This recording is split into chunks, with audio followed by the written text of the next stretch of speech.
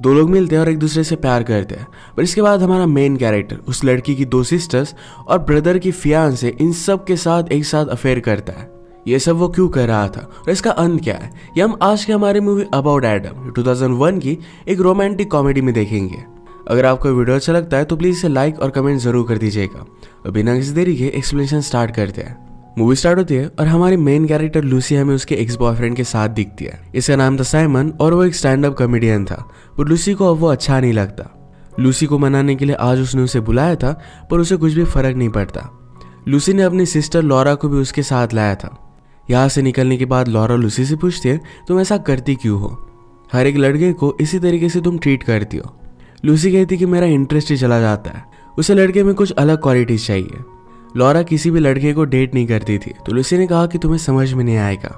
Lucy एक restaurant में काम करती है, पर वो सिंगर भी बनना चाहती है तो बीच बीच में गाती रहती है। आज गाना गाते वक्त उसकी नज़रें एडम से मिली। ये एक दूसरे को बहुत पसंद आए थे। एडम ज़रा शाय था तो लूसी वंडर करती कि एक्चुअल में इतना शाय हो भी सकता है। वो कभी भी एडम की तरह लड़कों को डेट नहीं करती। उसने एडम को ऑर्डर लिया, और एडम को भी लूसी अच्छी लगी थी। जाते जाते एडम उसे डेट के लिए पूछ लेता है। लूसी भी इसके लिए हाँ कहती है। उसे उसके लिए कुछ अलग सा ही फील हो रहा था।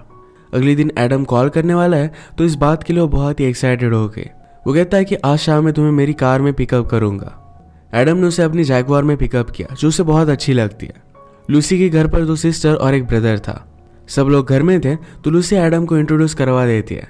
सब लोगों को बहुत पसंद आया था। अगले दिन लाइब्रेरी में लॉरा और लूसी बात करते हैं। लॉरा ने कहा कि एडम तुम्हारी चॉइस के लिए बहुत ही अलग है। उसे बुक्स और पोएट्री में भी इंटरेस्ट है। ये तुम्हारी तरह नहीं है। लूसी ने कहा कि जरा चेंज अच्छा होता है। अगली सीन में लूसी का ब्रदर डेविड उसे कह रहा था कि मेरी गर्लफ्रेंड मेरे साथ इंटीमेट ही नहीं होती। वो शादी हो जाने तक वेट करना चाहती है। उसे लगता है कि गर्लफ्रेंड को इसमें कोई भी इंटरेस्ट ही नहीं है। लूसी कहती कि वेट करना अच्छा होता है। अब तक एडम और मुझमें भी कुछ भी नहीं हुआ। इस बात को लेकर वो ज़रा वरीड थी कि क्या एडम भी उसमें इंटरेस्टेड नहीं है। इसके बारे में अपनी सिस्टर से बात करती है। जिस तरीके से लूसी एडम के बारे में बात कर रही थी तो उसकी सिस्टर ने पूछा, क्या तुम उसके प्यार में पड़ रही हो? लूसी को अब तक पता नहीं है, पर ये फीलिंग उसे बहुत अच्छी लगती है। रात में दोनों हैंग आउट कर रहे थे तो एडम ने कहा, तुम जब चाहो, तुम जब कंफर्टेबल हो, तब हम एक दूसरे के करीब आएँगे। लूसी को यह बात बहुत अच्छी लगी। रेस्टोरेंट में उसका गाना सुनने के लिए एडम हमेशा आया करता था तो एक रात दोनों इंटीमेट हो जाते हैं। एक दिन एडम लूसी और उसकी मदर को ट्रिप पर लेकर गया। गाड़ी में लूसी की मदर एडम से कहती है कि लूसी को भी वो स्टोरी बताओ।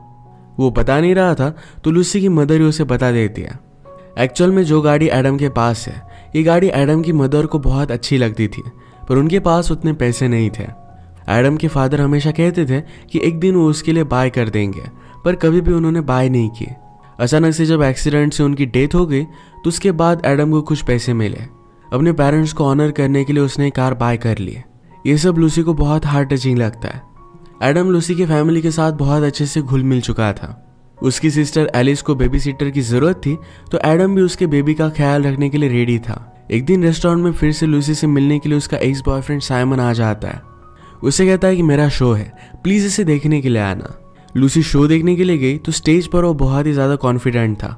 लूसी कहती कि मुझे हमेशा उसे इसी तरीके से देखना अच्छा लगता था, पर रियल लाइफ में वो इतना कॉन्फिडेंट नहीं है। इस तरीके का कॉन्फिडेंस इस तरीके की क्वालिटीज एडम में कुछ भी नहीं है, पर फिर भी उसके प्यार में पड़ रही है। ये बात अभी अभी उसे रियलाइज़ हुई कि वो एडम से प्यार करने लग गई है। नेक्स्ट सीन में अपने फ्रेंड से बात कर रही थी। कहती कि एडम को मैंने पूरी तरीके से बदल दिया है। पहले वो शाय था, पर अब सब लोगों से बहुत अच्छे से वो बात करता है। एक दिन वो मुझे बहुत ही रोमांटिक सी होटल पर भी लेकर गया था। वो आज जो भी करने वाली थी, इस बात को लेकर ज़रा नर्वस थी। रात में अपने रेस्टोरेंट में उसने अपनी सारी फैमिली को इनवाइट किया था। डिनर के वक्त वो गाना गाती है और गाने के बाद उसने एडम को सबके सामने प्रपोज कर दिया। एडम इसके लिए हाँ कहता है और सब लोग उनके लिए बहुत खुश थे। इसके बाद मूवी फ्लैशबैक में चली जाती है। एडम जब फ़र्स्ट टाइम उसके घर पर लूसी को लेने के लिए आया हुआ था, तभी का हमें एक सीन दिखाया जाता है। लूसी की सिस्टर लॉरा को लग रहा था कि एडम भी लूसी के अलग बॉयफ्रेंड की तरह होगा। सब लोग उसे लाइक करने का प्रिटेंड करेंगे और बाद में लूसी उसे ब्रेकअप कर लेगी। एडम फिर आकर लॉरा से मिलता है। उसका नाम जानने के बाद उसने कहा कि लॉरा नाम की मेरी फेवरेट मूवी है। एक पोएम है, जो भी मुझे बहुत अच्छी लगती है, और उसका नाम भी लॉरा ही है। इस पोएम के बारे में लॉरा जानती थी, और उसके पर अपनी थीसिस को लिख रही थी। एडम ने उसे पोएम बोल कर बताया, और उस वजह से वो बहुत ही इम्प्रेस्ड हो गई थी। अगले दिन लॉरा जब लाइब्रेरी में गई तो एडम भी वहाँ उसी पोएम को ढूँढने के लिए गया हुआ था। उसे देखकर वो बहुत ही सरप्राइज़ थी। अचानक से एडम जरा डिस्टर्ब हो जाता है, और वहाँ से वो चला गया। लॉरा भी उसके पीछे पीछे आई तो एडम गाड़ी में रो रहा था।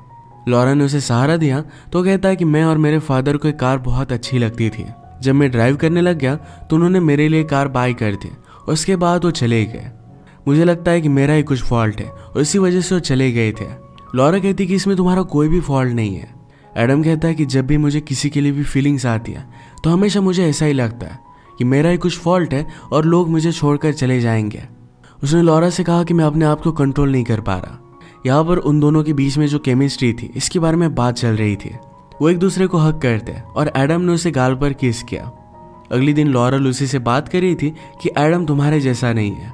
यहाँ पर वो जरा डरी हुई थी। वो भी अब एडम को लाइक कर दिया। उसे एक बुक दिखी और लगा कि एडम को ये बुक बहुत अच्छी लगेगी। तो उसके लिए वो बाय कर लेती है। इस बुक के ऊपर वो एक मैसेज लिखना चाहती थी, पर वो बहुत ही ज़्यादा कन्फ्यूज़ हो जाती है। वो जो भी फील करती है, ये सब कुछ बताना चाहती थी। फाइनली उसने कहा कि इस बुक को पढ़कर मुझे जो फील हुआ है, शायद वो तुम्हें भी हो जाए। अगले दिन वो उसे लाइब्रेरी में मिलती है।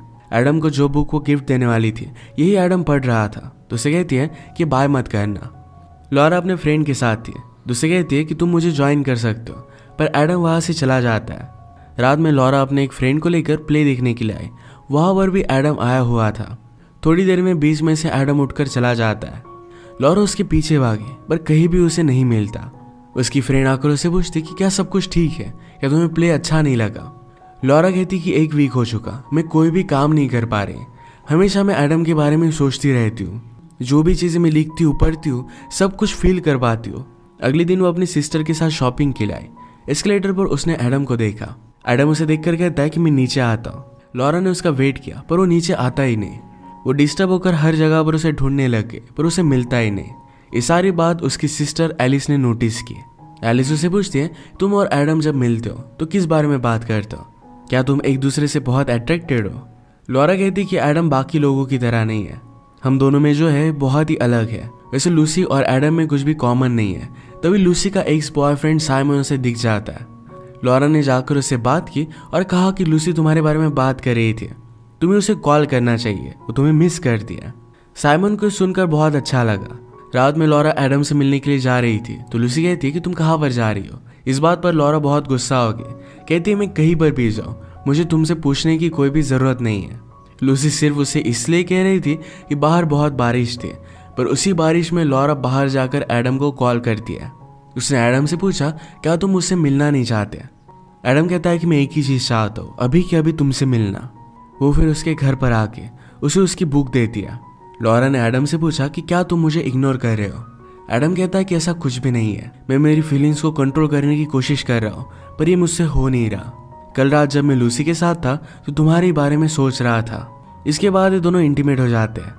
इनका हमेशा एक दूसरे से मिलना जुलना स्टार्ट हो गया था। एक दिन एडम जब लूसी को ट्रिप पर लेकर जा रहा था तो लॉरा ने उसे देख लिया। एडम कहता है कि मैं खुद के लिए नहीं कर रहा, मुझे करना पड़ रहा है। लूसी की आँख पर पट्टी थी तो वहाँ पर भी उसे किस करता इसके बाद हमें डायरेक्टली रेस्टोरेंट का सीन दिखाया जाता है, जिसमें लूसी ने एडम को शादी के लिए पूछ लिया। यहाँ पर भी एडम लॉरा के साथ फ्लर्ट कर रहा था, पर जब लूसी उसे पूछ लेती है तो उसके बाद उसे हाँ कह देता है। इस बात से लॉरा बहुत ही ज़्यादा हर्ट हो गई थी। अगले दिन उसे मिलने के लिए आया तो लॉरा बहुत गुस्सा थी। एडम कहता है कि सबके सामने मुझे हाँ ही बोलना पड़ा। अगर मैं मना कर देता तो लूसी को बहुत बुरा लगता। लॉरा उसे माफ़ नहीं कर रही थी। तो एडम गुस्से में वहाँ से जाने लग गया तो उसके पीछे पीछे आके। एडम ने कहा कि अगर हमारे अफेयर के बारे में लोगों को पता चले तो तुम्हारी बेइज्जती हो जाएगी। इसी वजह से मैंने किसी को कुछ भी बताया नहीं है। हमारे बीच में जो रिलेशनशिप है, ये शादी के बाद नहीं रहती ये पैशन हमें कहीं भी नहीं मिलेगा। इसके बाद ये दोनों फिर से इंटीमेट हो गए। लॉरो को एडम के साथ बहुत अच्छा लग रहा था। इसके बाद हम फिर से उसी फ्लैशबैक में जाते हैं, जब लूसी से मिलने के लिए एडम फ़र्स्ट टाइम उसके घर पर आया था। आजकल लूसी का ब्रदर डेविड ज़रा डिस्टर्ब है, क्योंकि उसकी गर्लफ्रेंड उसे कुछ भी भाव नहीं देती वो उसके साथ इंटीमेट रिलेशनशिप चाहता है, पर इस बात की लोग मान नहीं रही थी। जैसे जैसे लूसी और एडम की रिलेशनशिप आगे बढ़ी, वैसे ही डेविड अपनी गर्लफ्रेंड से बात करता था। वो कहता था कि एडम लूसी को एक जगह पर लेकर गया था। उनका वीकेंड बहुत ही अच्छा था। ये सब चीज़ें अपनी गर्लफ्रेंड कैरन के साथ वो करना चाहता था, पर कैरन कुछ भी हिंट समझ नहीं पाती। लूसी ने जब एडम को प्रपोज किया तो इनकी लव स्टोरी कैरन को बहुत अच्छी लगी थी। डेविड फिर एडम से बात करता है। उसकी सारी प्रॉब्लम उसने उसे बता दी। एडम कहता है कि तुम्हें इस तरीके से वेट नहीं करना चाहिए। लड़कियों को ऑर्डर देने वाला लड़का बहुत अच्छा लगता है। एक दिन डायरेक्टली तुम्हें उसे अप्रोच करना चाहिए। ये सब कैसे करना है साइमन को समझ में आ नहीं रहा था। एडम कहता है कि तुम वरी मत करो। रात के लिए हम डिनर प्लान करते हैं। डिनर के वक्त एडम उनके घर पर आया और ये सब लोग बहुत ड्रंक हो गए। निकलते वक्त एडम ने बहुत लेट कर दिया। बाहर बारिश होने लग गई थी तो प्रिटेंड करता है कि उसकी गाड़ी स्टार्ट ही नहीं हो रही। डेविड एडम को उसके घर पर ही रुकने के लिए कहता है। इनका प्लान था कि एडम काउच पर सोएगा और कैरन फिर डेविड के पास आकर सो जाएगी, पर ऐसा कुछ भी हुआ ही नहीं। कैरन खुद काउच पर सो गई और एडम डेविड के पास आ गया। डेविड को बहुत बुरा लग रहा था। एडम कहता है कि तुम्हें कोई भी कमी नहीं है। ये उसका ही फॉल्ट है जो तुमसे वो दूर रह रही है। ये सब सुनकर डेविड एडम से अट्रैक्टेड होने लग गया था। रात में डेविड की नींद खुली तो एडम उसके पास नहीं था। उसे उसकी गर्लफ्रेंड और एडम की आवाज़ आ रही थी। इस बात से वो बहुत ही ज़्यादा गुस्सा हो जाता है। अगले दिन एडम घर से निकला तो कैरन बहुत खुश थी। वो डेविड से कहती कि कल रात हम तुम्हारे बारे में बात कर रहे थे। वो डेविड को रिझाने की कोशिश कर दिया उसके बाद वो दोनों इंटीमेट हो गए। एडम ने जो भी किया, इसके लिए डेविड बहुत खुश था। वो जिम के स्विमिंग पूल में लूसी को देखता है, उसे लगा कि वो एडम के साथ है। पर लूसी अपने एक्स बॉयफ्रेंड के साथ थे और दोनों किस कर रहे थे। इसके बाद हम फिर से फ्लैशबैक में जाते हैं। लूसी की सिस्टर एलिस और उसके हस्बैंड डेविड में हमेशा झगड़े चलते थे। उसके साथ खुश नहीं थी। एडम जब लूसी को लेने के लिए आया हुआ था तो एलिस ने उसे देखा और उसे पसंद आता है। डिनर के वक्त एलिस का हस्बैंड एडम के कार के बारे में स्टोरी बताता है।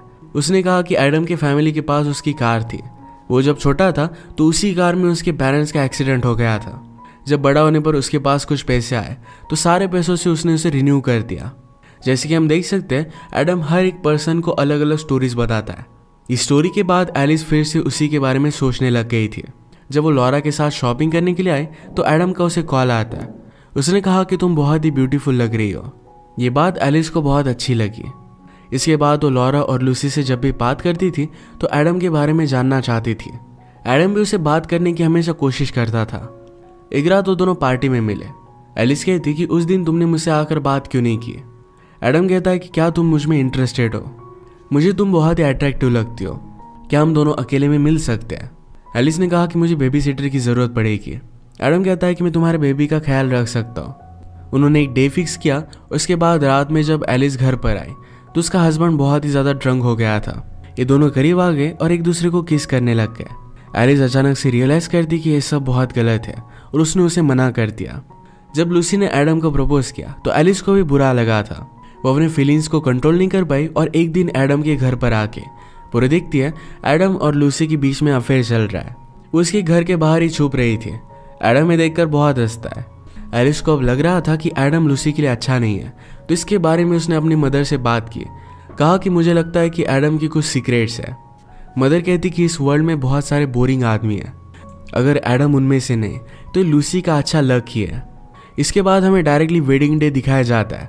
लूसी को मनाने के लिए उसका एक्स बॉयफ्रेंड साइमन उसके घर पर पहुँच गया। लूसी एलिस को उसे भगाने के लिए कहती है इसके बाद लूसी डिस्टर्ब हो गई थी वो लॉरा और एलिस को बुलाकर कहती कि मुझसे एक गलती हो गई। मैंने साइमन के साथ एडम पर चीट किया है। मुझे ये सब बात एडम को बता देनी चाहिए। लॉरा और एलिस इन दोनों ने उसे समझाया कि सच बोलने से कुछ भी अच्छा होने नहीं वाला, क्योंकि वो अपना खुद का सच छुपाना चाहती थी। वो कहती कि अगर तुमने बात छुपाए तो सब लोग बहुत खुश रहेंगे। तुम आगे की अपनी लाइफ एडम के साथ बिताना चाहती हो। यही चीज़ इंपॉर्टेंट है। ये सब बात लूसी ने अब मान ली थी। एलिस फिर एडम से मिलने के लिए आई। उससे कहती कि क्या तुम अभी लॉरा के साथ अफेयर कर रहे हो? एडम ने कहा कि वो भी चल रहा है। एलिस पूछती कि क्या तुम अब भी मुझमें इंटरेस्टेड हो? एडम इसके लिए हाँ कहता है। एलिस ने कहा कि तुम ये सब करते क्यों? हो एडम ने कहा कि लोगों को लगेगा कि मैं किसी से रिवेंज लेने के लिए ये सब कह रहा हूँ, पर ऐसा कुछ भी नहीं है। जब भी मैं लोगों से मिलता हूँ तो हमेशा मुझसे वो कुछ ना कुछ तो चाहते हैं। उन्होंने मेरे बारे में माइंड में एक स्टोरी क्रिएट की होती है। मैं सिर्फ़ उसी का कैरेक्टर प्ले करता हूँ। वो भी खुश होते हैं और मैं भी खुश होता हूँ। फिर एलिस और वो भी इंटीमेट हो गए। एलिस ने पूछा कि तुम अब क्या करोगे? एडम ने कहा कि अब मैं शादी के लिए रेडी हो रहा हूँ। शादी के लिए लूसी एडम को अप्रोच कर रही थी, पर उसे सब गलत लगता है। एडम भी उसके पीछे पीछे आया। पूछता है कि क्या तुम मुझसे शादी नहीं करना चाहती लूसी ने कहा कि एक चीज़ है जो मैं तुम्हें बताना चाहती हूँ। एडम ने कहा कि तुम्हें मुझे कुछ भी बताने की ज़रूरत नहीं है। मैं तुम पर हमेशा ट्रस्ट करूँगा। हर एक आदमी के कुछ ना कुछ सीक्रेट्स होते हैं। वो एक्शन क्या लेगा, ये बहुत ही इंपॉर्टेंट है। वो दोनों एक दूसरे से शादी करना चाहते थे और वो फिक्स था। लूसी इस तरीके से एडम का ड्रेस देखकर इम्प्रेस्ड हो गई थी। ये दोनों फिर खुशी खुशी शादी कर लेते हैं। इसी के साथ ही मूवी एंड हो जाती है। एडम हमेशा लोगों के सामने प्रिटेंड कर कर ज़िंदगी का मज़ा लेता है। पर उसका लूसी से प्यार भी कम नहीं है। उससे वो शादी कर लेता है।